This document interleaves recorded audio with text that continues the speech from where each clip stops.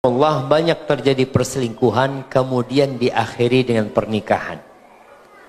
Awalnya selingkuh-selingkuh tadi aduh daripada berbuat dosa teruslah anak nikahin. Antum menikahin seorang pezina dan antum pun pezina. Disyariatkan poligami kata